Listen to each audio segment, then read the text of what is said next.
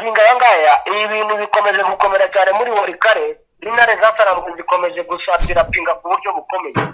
Ni amakuru mashya agezweho. Ku mirongo y'imbere y'urugamba ku mugoroba wo kuri iki cyumweru ku itariki ya makumyabiri na karindwi ukwakira bibiri na makumyabiri na kane. Intare za sarambwe zikomeje gusatira ibice by'ingenzi byagenzurwaga na frdc warikare masisi urugamba rurakomeye. Ni mu gihe kandi bitangazwa ko mu ntera iri munsi y'ibirometero bitanu intare za sarambwe zerekeza ku kibuga cy'indege cya pinga ni ho bageze. Ibiro bikaba byamaze guhabura ndetse no gutuma frdc yigira inyuma ku rwego rukomeye. Ibiri kuba ndetse n'ibikomeje kugenda bitangazwa biragaragaza ko frdc yamaze kubura abafatanyabikorwa bose bayifashaga urugamba. Sadeke ingabo z'uburundi bose bamaze guhaburwa n'ibiri kubera mu bice bitandukanye. Ni mu gihe kandi kisekedi cirombo ubwo yari ari mu ruzinduko mu ntara ya copo yavuze ko abasirikare fardc bari mu myitozo batagomba kuba abagambanyi. Anayishura ko benshi mu basirikare fardc impamvu urugamba rukomeje kugenda rubagora biterwa n'uko benshi babaye abagambanyi ni mu gihe kandi goma mu ntara kivu y'amajyaruguru hakomeje kugenda hagera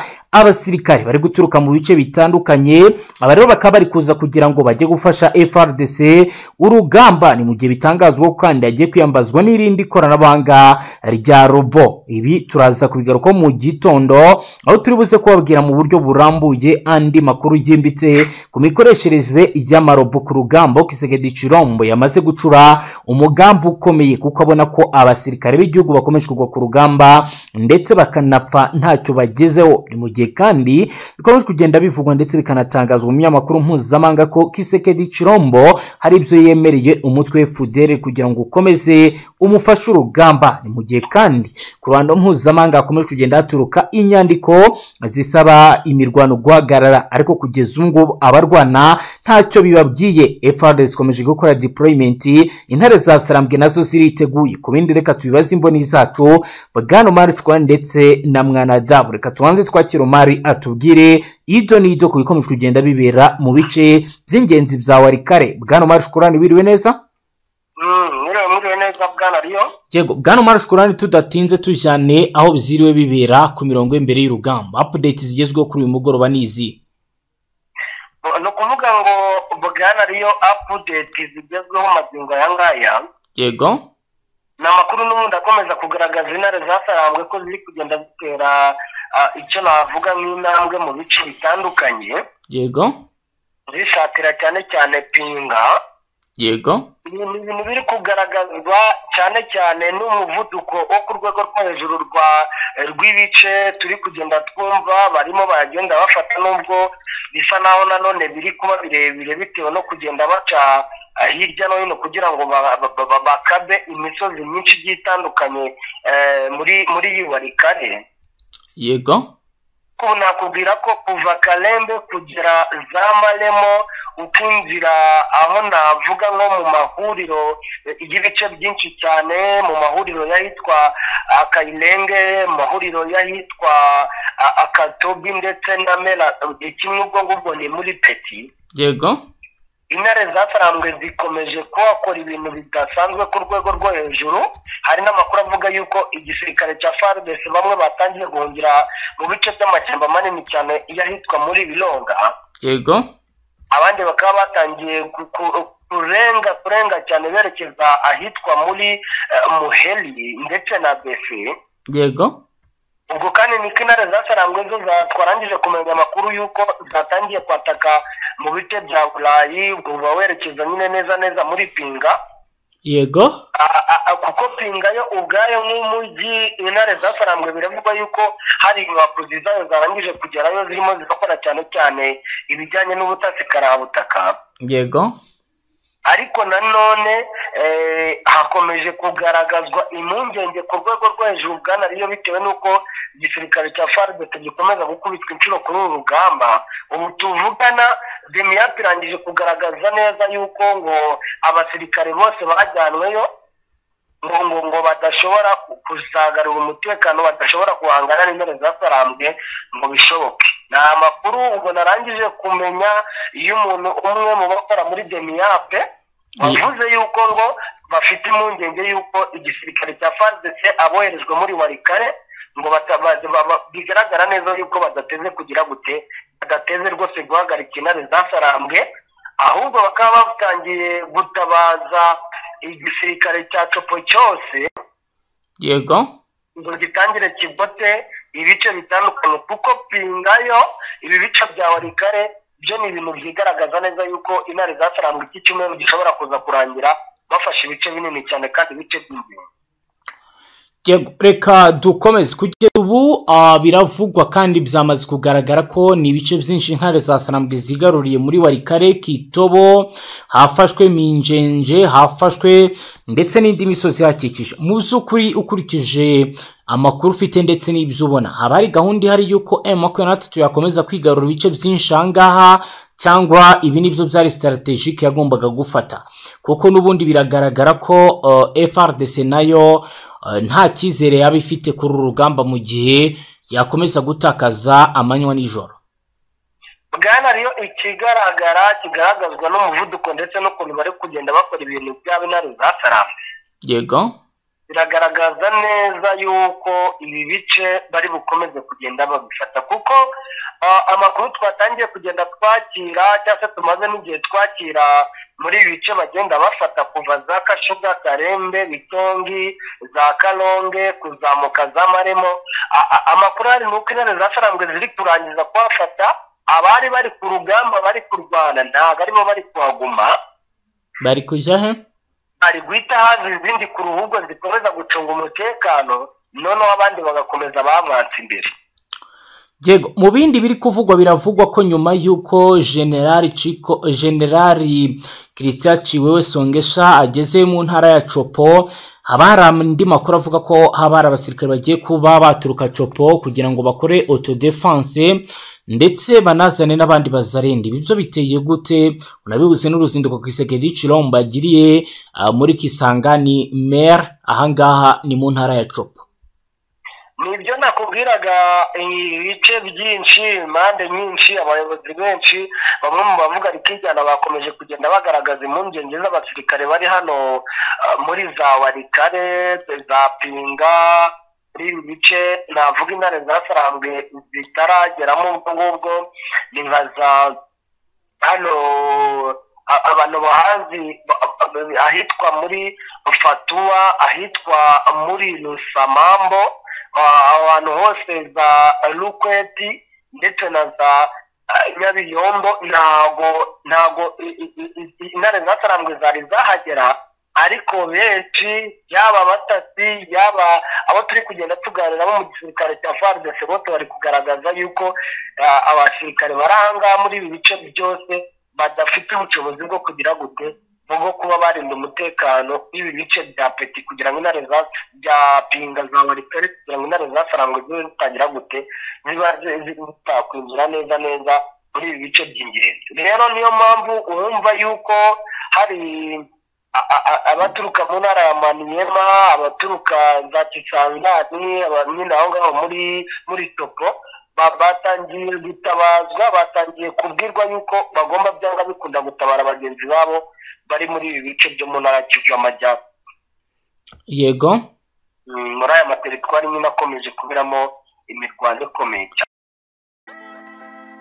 Have sigaho wikongera guhendwa ukundi kuko amiri riyo isiteti twaje nk'igisubizo kuri wowe wifuza kugura ikibanza cyiza mu karere ka bugesera. By'umwihariko mu murenge wa mwogo aho guhera ku mafaranga y'u rwanda miliyoni imwe n'ibihumbi magana atanu tuguhe ikibanza cyiza. Ahantu heza watura ukaba witegeye ikibuga mpuzamahanga cy'indege cya bugesera. Si ibyo gusa kandi amiri riyo isiteti tubafitiye amazu meza agurishwa ku giciro cyiza. Hano mu karere ka bugesera akarusho utasanga ahandi ni uko muri amiri riyo isiteti ku bakiriya bacu ba mikoro aringaniye tubafasha kwishyura mu byiciro. Akarusho amiririyo esiteti dufasha abakiriya bacu kubona ibyangombwa byo kubaka n'iby'ubutaka ndetse ababishaka tubafasha kubaka inzu bifuza badahenzwe kuko dufite abenjeniyeri bamenuje mu bijyanye n'ubwubatsi. Erega turi abanyamwuga.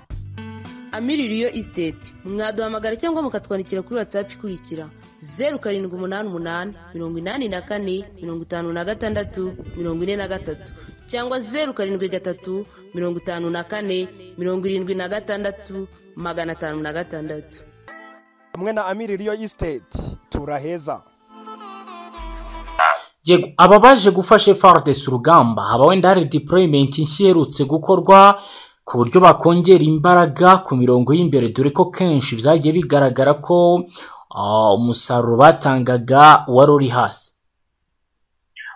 Amakuru ari ni uko deployment zo zirimo ziragenda zikorwa kuko ngubu hari abasirikare twarangije kumenya ngo bari bari ahitwa muri mukondori ngo uba wazamutse cyane cyane wewe wa- wagiye muri biriya bice bya coko yego. Bivugwa yuko bazanywe ha- hafi y'ahantu hitwa muri kirambo. Yego. Bagashyirwa ku musozi navuga ah, ufite uburebure ni nk'ubwa metero n'ibihumbi nka bibiri ahitwa muri mawunti momomo cyangwa se mu masha yego.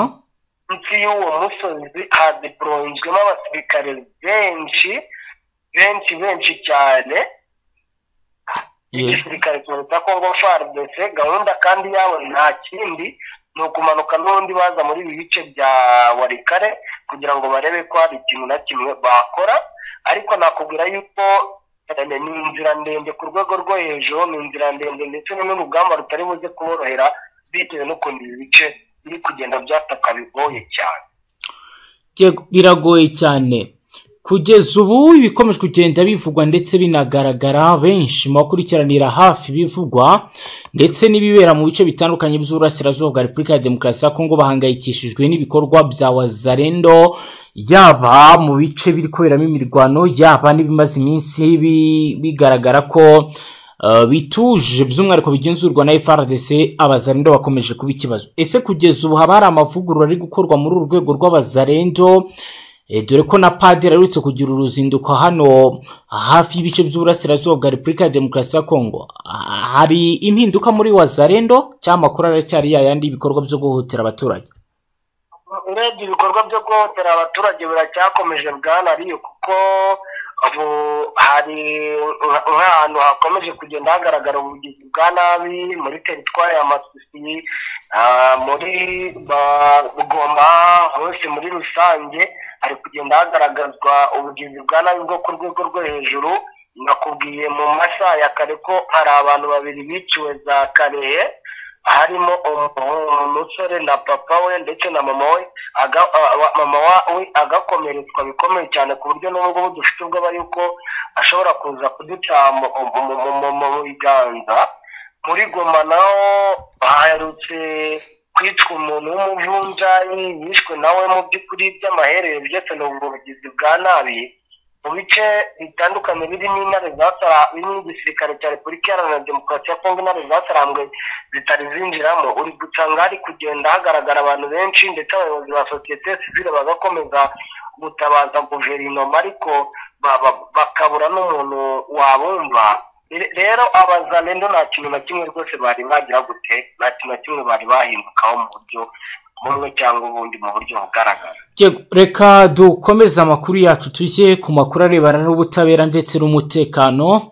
Aho urukiko mpuzamahanga mpanabyaha ICC rwatangiye iperereza ku wa gatandatu itariki makumyabiri na gatandatu ukwakira bibiri na makumyabiri na kane ubukangurambaga bwo gutanga amakuru ku ndishyi ku bahohotewe mu rubanza rwa Bosco Ntaganda Ibuniya mu ntara y'ituri mu burasirazuba bwa Repubulika Iharanira Demokarasi ya Kongo nk'uko bizatangajwe n'umukozi ushinzwe amakuru rusange muri uru rukiko witwa Margon Tesselok intego y'iki gikorwa ni ukugira ngo abantu bose bemerewe kwishyurwa muri uru rubanza. Abanyamakuru bagera bagera kuri makumyabiri baturutse mu bitangazamakuru bitandukanye bagize uruhare muri iki gikorwa uh, nyuma yo kungurana ibitekerezo muri Bonia.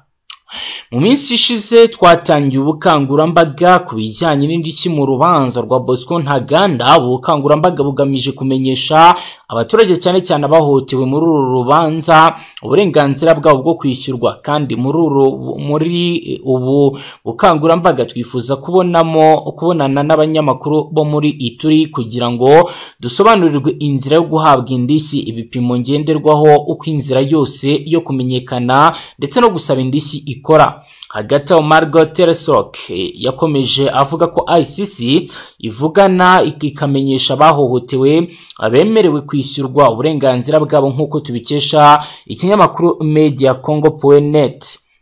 Yavuze ko yizeye ko abanyamakuru bashobora kugera ku bantu bose bashobora kwemererwa kwishyurwa muri uru rubanza. Urugereko rwa kabiri rw'urukiko rwasuzumye uburyo bosco ntaganda agomba kuryozwa izo ndishyi zingana na miliyoni mirongo itatu n'imwe z'amadolari y'amerika azakusanywa n'ikigega cyita ku bahohotewe. Ibiro ni mu rwego rwo kwishyura abahohotewe mu gihe cy'amakimbirane ashingiye ku moko yo muri bibiri na kabiri bibiri na gatatu mu ntara ya ituri. Ngayo nguko rero ibi ni ibijyanye n'ubutabera. Reka dukomeze n'ubundi tubihuza n'abasirikare fardc bivuga ko batangiye gutabwa muri yombi bahunga. Byo bimeze gute? Ni ukuvuga ngo bwana rero abahunga bo banakomeje kuba benshi cyane by'umwihariko muri ntara kivu y'amajyaruguru hakomeje kubera imirwano. Ngira ngo abazi wenda intara kivu y'amajyaruguru umuntu yavuga ko igizwe na teritwari ni esheshatu ariko buriya wongeraho na nyiragongo zigahita ziba zirindwi ni uko wenda nyiragongo ari no usanga abantu benshi bayibarira wenda ku mujyi wa goma nabwo goma nabwo hari igihe bitewe hano na oruganizasiyo wavuga yasobanutse nabwo hari igihe usanga bamwe bayita teritwari. Yego. Ariko urebye iyi teritwari ya warikare buriya bwana riyo ni niyo teritwari nini? Niyo teritwari nini ku rwego rwo hejuru? Kuko iruta za masisi zirata za rucuru zirata za rugero ndetse na za beni n'utwongewe ndetse na za rewo wanyine ariko ikigaragara igisirikare cya faridese ahantu muri warikare cyakabaye gikora uko gishoboye kose kikahagarara ugereranyije n'ibice bitangiye kwinjirwamo ariko ibice ubu ngubu magingo aya ngaya byatangiye gufatwa ni na byo bice by'ingenzi. Yego. Ariko abasirikare ba faridese batangiye gufatirwa mu bice bya rugero bahunga batangiye gufatirwa mu bice bya bya za topiyo na za maniyema bahunga mu gihe ahubwo hari abandi bari kuza za ideni naho hari abasirikare bari batangiye kuvayo ariko iyi warikare abasirikare ba faridesi bagize ubwoba ku rwego rwo hejuru ku buryo bari kugenda bafatwa ari benshi ari benshi cyane bahunga. Yego. Dukomeje n'aya makuru n'ubundi reka tujye ku ngingo irebana. N'imibereho myiza. Kuri ubu biri gutangazwa ko muri repubulika ya demokarasi ya kongo imfungwa mirongo inani n'ebyiri zapfiriye muri gereza imwe mu mezi icumi ashize. Umuryango uharanira uburenganzira bwa muntu redi ho watangaje ko imfungwa mirongo inani n'ebyiri zapfiriye muri gereza ya kwanguru muri teritwari ya butembo mu mezi icumi ashize zizize ubucucike bukabije mu cyumba zabagamo. Raporo y'uyu muryango yasohotse ku itariki ya makumyabiri na gatandatu ukwakira makumyabiri na kane igaragaza ko mu cyumba cya gereza ya kwanguru iherereye muri butembo hafungiye abantu e, bagera ku gihumbi magana atatu na mirongo ine n'icyenda barimo abagore babiri nyamara muri icyo cyumba haragenewe kwishyamo abantu magana abiri na mirongo itanu gusa. Uyu muryango ugaragaza ko abahafungiye badahabwa ubutabera buboneye kuko amadosiye yabo atinda cyane ndetse nta miti n'ibiribwa bihagije. Bagenerwa. Redo isaba leta ya repubulika na demokarasi ya kongo eh, kugabanya umubare w'imfungwa muri iyi gereza cyangwa ikihutisha gukurikirana amadosiye y'aba ngaba. Radiyo okapi yanditse ko kugeza ubu mu mpera za nzeri makumyabiri na kane muri iyi gereza hari hamaze kugwa abarenga mirongo irindwi n'umwe. Bikaba rero bizaraje kurangira bibatangaje ko kugeza muri uku kwezi kwa cumi abarenga mirongo inani na babiri bamaze gupfa. Ibi rero akaba ari ikibazo gikomeye. Bwana mari wakomeza n'andi makuru. Mu yandi makuru bwana ariyo mu bice bitandukanye by'intara ya kivu y'amajyaruguru hakomeje kugaragara nanone ubugizi bwa nabi buri gukorwa n'aba fpr yego.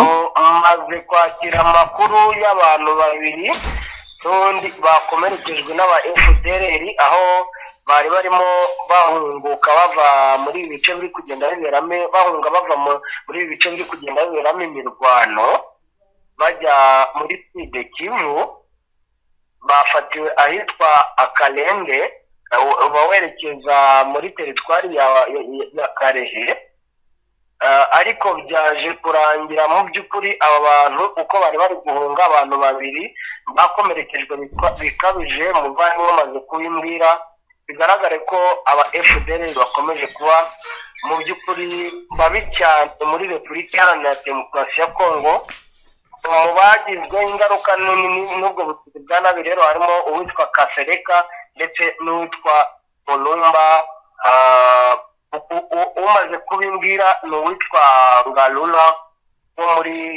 wo muri warikari yego. Kugeza ubu bikomeje kugenda bigaragara ko ibiba ndetse n'ibikorwa byose FRDC bibireberera. Ese kugeza ubu mu makuru ahari haba hari uguhindura ubuyobozi muri ibi bice byigeze bikorwa wenda kugira ngo ah, n'amakosa yagiye agaragara mu rugamba abashe kuba yahagarara? Bwana nsanga nta mpinduka zidasanzwe naho zigerageje yego. Usanga n'umunsi wose biba bimeze nk'aho ari kimwe rwose. Yego. Mm. Yego, ku birebana n'urujya n'uruza aho kugeza ubu watubwira ko bizifashe gute yaba i Goma ndetse n'ahandi navuga hagiye kumara igihe hari kubera imirwano ikaze kandi ikomeye. Wavuga ko urujya n'uruza wenda bo mu mujyi wa goma abantu bakomeje kugerageza gukora ibishoboka byose bagakora imirimo ariko wenda nta bwisanzure ariko bakagerageza kuyikora. Gusa ni umujyi nanone navuga ko ubuzima bwabo buhora buhindagurika mu buryo butandukanye. Ni umujyi urimo panike zo ku rwego rwo hejuru kuko isaha n'isaha uba wumva ujya kumva ukumva umuntu arahohotewe azize iki n'iki azize imitungo ye azize ko atatanze ruswa n'ibindi. Mbese ni wa mujyi nyine w'akavuyo wa- umujyi kandi abaturage baho bafite ubwoba. Eh, ibindi bice wenda nko muri eno intare zatarambwe zigenzura ni ho turi kugenda twakira amakuru meza y'ibikorwa bigikomeje ubucuruzi bugikomeje aho imvura iri kugwa abantu bari gukomeza kwikorera imirimo yabo nk'ibisanzwe ariko muri eno nanone igisirikare cya faridese kigenzura ariko wenda navuga abaturanyi cyangwa bahana imbibi na na naho intare zatarambwe zigenzura. Hari ibibazo byinshi ibibazo byinshi cyane byihohoterwa abaturage ntabwo bafite ubwisanzure mu buryo busanzwe. Ntabwo bafite ubwisanzure mu buryo busanzwe. Eh, kugeza ubu sami DRCO amakuru y'imashya yabo ni ayahe ku birebana n'akazi kabazanye mu burasirazuba bwa repubulika ya demokarasi ya kongo sami byarasi bwana ariyo uri kubona ibintu byabo bisa naho ari ubwiru kuko usibye wenda nk'ibice bimwe na bimwe turi kugenda tubona cyane nko muri teritwari ya masisi hagenda habera imyitozo ya gisirikare ariko ubundi uri kubona nta gishyashya kidasanzwe ku rugamba kuko no kuri forontline ntabwo bakijya ari cyangwa kiri kugwa mu rundi ko abaza ziri kuza zamaraka bagahitamo icyiciro bakabara imisozi ndetse abantu umubare batangiye nyine ukwigira mu bice intare zataragenzura nka za kashuga rwose na abaturage bari cyane nubwo wenda wavuga ko bike bitewe n'uko nta za kanada nyingomeje kuba bibi cyane ariko hari za tarama zigaragara zirarusha rwose imbaraga igisare cya leta ko ndetse n'abazarundi bafatanye mu bwana reka dusubire n'ubundi ku mirongo y'imbere y'urugamba. Wa muvandimwe akomeza atubwira n'andi makuru by'umwihariko mu bindi bice urugamba rurakomeza. Uratwumva? Uratwumva neza? Ndabumva ndabumva. Dukomeze uduhe wambwiye uti imirwano iri kubera no mu bindi bice tuva wari watubwiye utujyane n'ahandi. Ahandi kuri ubu ngubu hazindutse haka umuriro ni he? Ah, ni ukuvuga ngo ahandi imirwano ikomeye cyane ikomeje guca ibintu ni mu misozi ya hano za mpanamo n'ahitwa za rusihe Ah, ni imirwano nakubwira yuko rero imaze ah, akanya katari gatoya kuko yatangiye ku isaha y'isaha cyenda z'ijoro ni imirwano ikomeye cyane ku rwego rwo hejuru ni imirwano kugeza amagingo rero imaze no gupiramo abasirikare batari bake ku ruhande rwa koalisiyo ariko no kuri kote ya emu makumyabiri na gatatu na yo yamaze kuhatakariza ingabo. Ah, bwana munyamakuru rero icyo nakubwira cyo murabizi ah, icyitwa koalisiyo kimaze iminsi mu mirwano ikomeye cyane mu misozi ya hano za mpanamo ariko nimba mubyibuka neza operasiyo yari yatangiriye ahitwa za muheto ni operasiyo rero yari yatangiriye ahitwa za muheto ariko biza kurangira emu makumyabiri na gatatu idominiye bikomeye icyitwa faridese n'abafatanyabikorwa babo irabakubita n'ubundi bageza muri ino misozi ya za busiye ndetse n'aha manamo. Nyuma yaho gato rero murabizi ko emu makumyabiri na gatatu yari irimo yerekera ahitwa masikizoni ahangaha iyo bagukubise bakakurenza mu muheto bakwambutsa imigezi ya za rushoga urugamba rero n'ubundi byaje kurangira bikomereje hano za manamo na za busibu ni ho rwambikaniye aha ni muri gupoma bashari kayembe. Ni ukuvuga ngo rero utu turere twa manamo na busihe ni utw'ingenzi cyane kandi ni uturere dushobora korohera emu makumyabiri gatatu mu gihe twose yabadukuyemo kuko byaba byoroshye kugira ngo igere ahitwa masikizoni kuko haba hasigaye imisozi ya za gahongori naho bita za bikenke iyi misozi icungamiye masikizoni neza ubu rwose tuvugana isaha ku isaha emu makumyabiri gatatu ishobora kuza kwiturayo kuko ubu tuvugana koalisiyo faridesi uzi kwiruka bya faridesi na efuperi bahungiye ahitwa za busakirwa na za gahanga na za miyanja iwabo wa generali kagiri. Yego iwabo wa jenali kagiri. Kugeza ubu ku birebana n'abazarendo abazarendo biravugwa ko kuri ngubu batangiye kwicuza ikosa rikomeye bakoze bivanga muri iyi mitwe. Ese kugeza ubu ngubu baracyafite imbaraga cyangwa bamwe bari kugenda bahindukiza buti bahunga? Kugeza ubu ngubu icyo nakubwira cyo bazarendo nta mbaraga bagifite gusa nanone ku rundi ruhande usanga bazifite kuko batazifite ntabwo baba bakiri guhangana. Kuko nk'ubu tuvugana urugamba rurimo rurarwana hano mu misozi manamo ahanini nibo bari kurwana nibo bari gukora ibishoboka byose kugira ngo barebe yuko emishinga gatatu baza kuyigeza inyuma bakayisubiza za nubwo biri kugorana. Icyo nakubwira cyo rero ku kijyanye n'imbaraga zo barazifite ndetse kandi bari no kurwana banarwana na umurava ntabwo twabanyega ibyo bari gukora kuko nubwo bari gukubitwa ariko bari kuba bagerageje bwana munyamakuru bari kuba bagerageje. Duhe ishusho. Abarundi bo kugeza ubu bahagaze gute ku rugamba mbere yuko turi buze kureba nuko sadeke na yo yaba ikomeje kugenda yitwara ku mirongo y'imbere y'urugamba? Kugeza aya magingo abarundi bo rwose barimo barakubitwa ku rwego rwo hejuru kuko nk'ubu mu mirwano ikomeye cyane irimo iba mu bice bya hano muri za mpanamo muri ibice bya za muheto haza busihe icyitwa umurundi ni we uhababarira kuko rwose arimo aragerageza gukora ibishoboka byose kugira ngo yerekane itandukaniro. N'abarundi ba mbere bagiye bakubitirwa mu misozi ya za muremure murabizi batayo. Zari ziyobowe n'abitwa ba konere andari aroni ndayishimiye nizo batayo zahemukiye bikomeye kuri ubu bwa zikara demokarasi ya kongo kugeza amagingo rero abahari bafite inshingano ndetse banafite n'intego zo gukora ibitarakozwe ni na cyo kintu barimo barakora kirimo kiratuma banatakariza ubuzima ari benshi hano ku mirongo y'imbere ku rugamba kuko ubu tuvugana na n'ubu rwose mu kanya gato gashize igoma amakuru angeho aremeza ko mariti z'abarundi n'ubundi zaba zigiye kongera kuburizwa indege n'ubundi zikerekera mu gihugu cy'uburundi kuko abicwa bakomeje kuba benshi cyane. Naho kugeza ubu ngubu ko samidi yarasi akazi kayizanye nabona ko itagakora ibice byinshi bikomeje kugenda bikorwa. Kuri ubu bahugiye mu ki? Ni igiki gituma badafashe fardese kuba yakihagararaho ndetse ntibashe no kwamburwa ibice bitandukanye.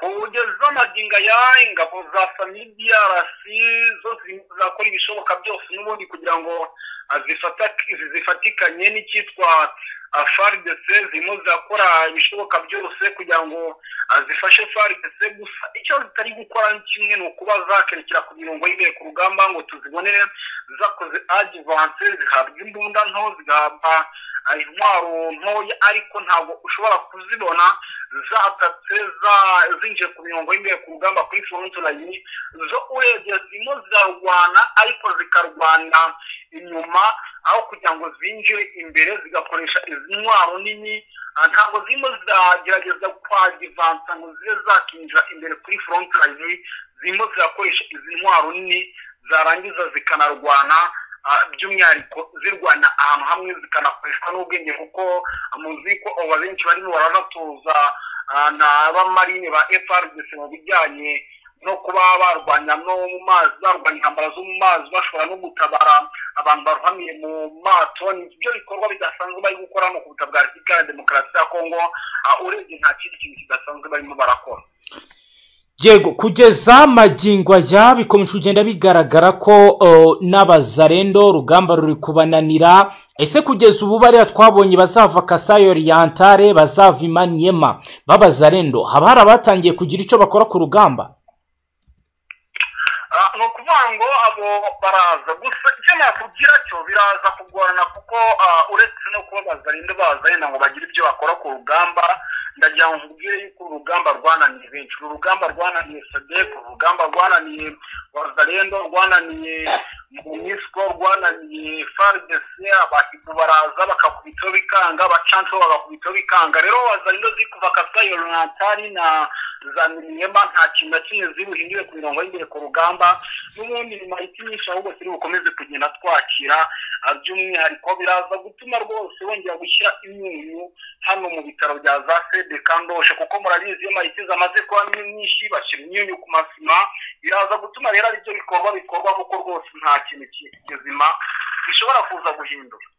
Yego bwana mari shukurani. Dukomereje igoma igoma aho kugeza ubu umutekano ucunzwe gute?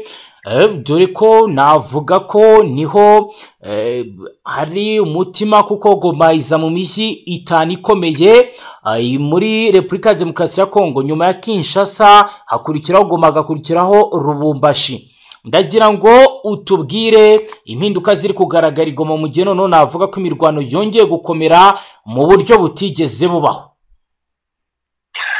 Ngira ngo magingo aya ngaya urebye. Yego. Rwagati ntabwo ushobora kuba hari impinduka zidasanzwe ziri kuzibaho mu buryo bw'imyire y'umuri imicungire y'ibikoremezo bisare imicungire y'amazu kandi inzego za leta n'ahahurira abantu benshi yego. Ahubwo amaze kugenda twakira kandi agenda agaragara uko ubwoba bukomeye cyane.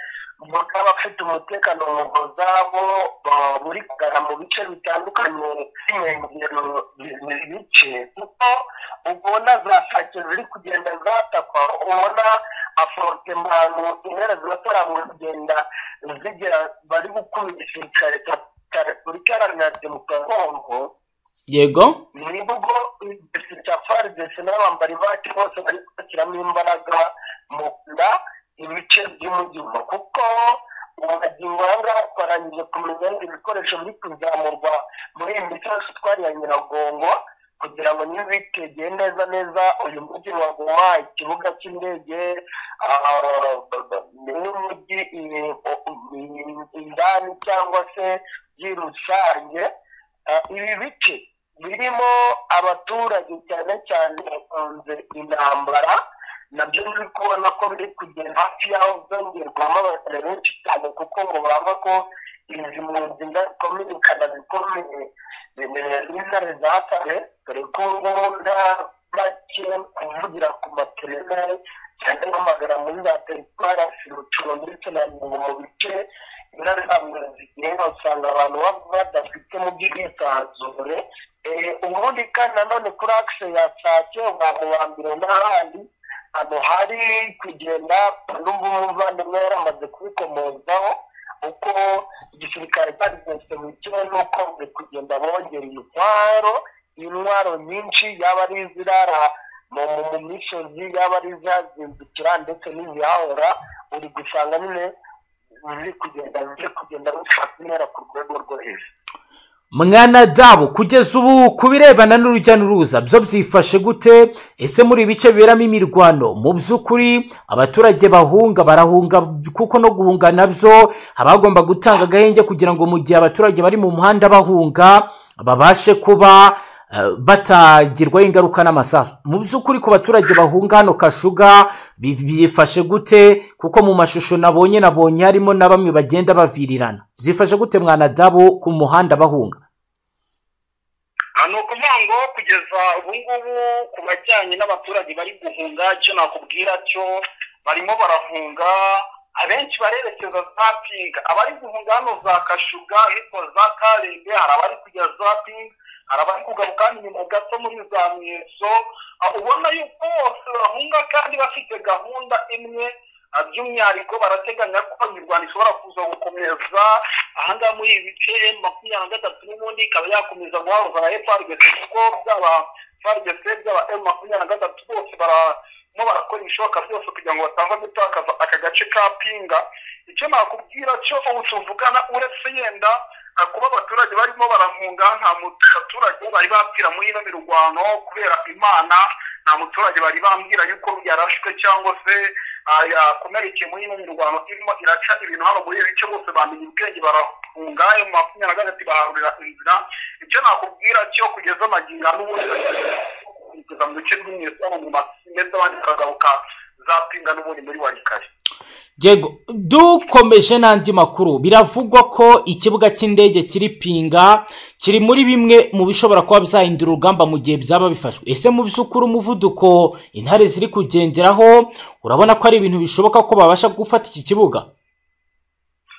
Ni ibintu bishoboka cyane kuba iki kibuga cy'indege gipinga cyafatwa ariko kandi nanone biragoye. Kuko impamvu uwitwa generali guido shimirayi yamaze gusa nk'uwemera Tshisekedi ibintu bikomeye cyane bigaragara yuko bari bugwane bakasigana umwuka wa nyuma kugira ngo iki kibuga cy'indege kitaza gufatwa. Ni na yo mpamvu byari byakajijwe mu makumyabiri na gatatu ishaka kugifata ariko biza kugorana kuko bahise bakoresha imisaga myinshi mu kumenaho abasirikare mu kumenaho ibikoresho n'ubundi kuko iki kibuga ni cyo gifasha FRDC kuba irimo irakontorapinga. Biraza kugorana rero kugira ngo iki kibuga cy'indege gifatwa na M makumyabiri na gatatu gusa mu gihe M makumyabiri na gatatu iri bube ifashe umurongo wo kuva ngo yerekeye ku kibuga cy'indege na byo birashoboka kuza kuba kivuyemo. Byose ni ukuza kureba impande zombi uko iraza kuba ihagaze kugira ngo tuze kwemeza nimba koko iki kibuga cy'indege kiri gufatwa kuko kugeza amagingo yabo bamwe barakubita abandi bakabashyira mu kilometero kimwe bakongera bakabagarukana nta n'umwe uri kwavanza ngo tubone ko afite imbaraga zidasanzwe zo gukora igikorwa gikomeye. Turebye ibitangajwe n'uwitwa uyu yitwa marceli ni umuvugizi wa ni porute parole wa nduma defanse ofu kongo cyangwa se renovo rndc iyi niyo kwa gideon shimarayi. Yagize ati twarwanye kuva ku isaha ya saa yine ya saa kumi n'iminota makumyabiri za mu gitondo. Kugeza ubu ikibabaje ni uko nta nkunga dufite mu bijyanye n'amasasu. Nubwo twashyizeho ingufu mu minsi ibiri hari abasirikare fardese baje badafite imbaraga baguma pinga ntibaza kudufasha ndetse n'ibikoresho barabigumana. Mu by'ukuri kuba aba bazarendo basanzwe bafashe fardese batangiye kwinubira ko ibikoresho bitari kubageraho. Twaza kwitega iki mu masaha ari imbere? Mwana dabo yego? Kwitega bwana munyamakuru turaza kwitegwa gutsindwa gukomeye ndetse no gukubitwa gukomeye ku ruhande rwa FRDC kuko ibi bishobora kuza gutuma rwose icyitwa FRDC yakubitirwa mu buryo budasanzwe kuko kuba batarimo barabona ubundi bikoresho niyo nsinzi ya mbere kuba batarimo barabona ibyo kurya niyo nsinzi ya mbere ibi bishobora kuza gutuma FRDC igira ibice itakaza ndetse ikitwaza n'ibyo bintu byo kuba hari ibikoresho byatangiye kugenda bibura kuri fotorani ni cyo kintu nabona gishobora kuza kubaho zikaba ari inzitwazo zo kugaragaza yuko hari ibiri kubura nyamara urugamba rwamaze kuba rubatsinze urugamba rwo rurakaze kandi ibintu bikomeje kugenda bikara ijoro n'amanywa kugeza ubu bwana mari shukurani biri kuvugwa kandi biri kugaragara ko no mu bice bya kimumba hakomeje kugenda hoherezwayo abasirikare. Apudeti zari ni izihe? Ese abari koherezwayo n'abasirikare bwoko ki misiri kubajyana ni iyihe? Ese n'ahangaha na yo makumyabiri na gatatu nawe afite fosi ziteguye kurwana? Apudeti ni izihe kuri iyi ngingo? Ni ukuvuga ngo ibi bice bwana riyo yego. Ibi ni ibice nakubwira yuko biba bihangayikishije igisirikare cya faridesi umunsi ku munsi bitewe n'uko aba ari mu marembo neza neza kandi akaba mu mutwe w'umujyi wa goma. Yego. Rero umunsi ku munsi bagenda bajyana ibikoresho ndetse n'abasirikare kwa butaka kugira ngo babe biteguye ko isaha n'isaha igitero cyaturuka aho ngaho cyangwa se icyakoma cyose mu mujyi wa goma cyangwa gisatira umujyi wa goma bahita batabarira hafi. Yego. Ariko nanone bikanavugwa ko intare zasharambye yego. Ziri kujya zikoresha izi nzira ah, mu rwego n'urundi rwo gukomeza ah, kuza ngo gutata uyu mujyi wa goma. Yego.